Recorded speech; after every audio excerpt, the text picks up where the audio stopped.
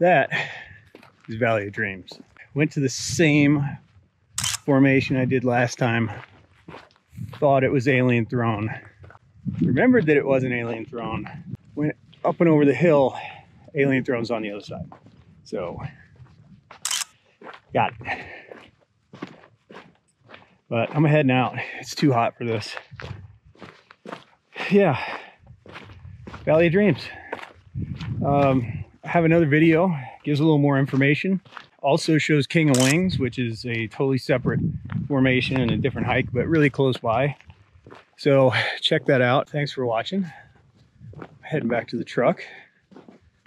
I'm going home. Looking forward to that. This has been quite an awesome trip though.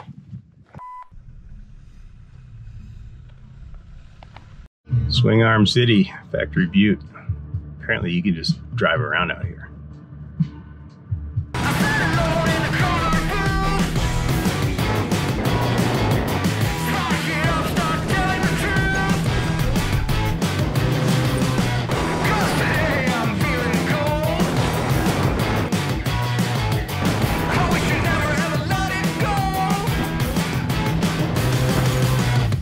That was fun.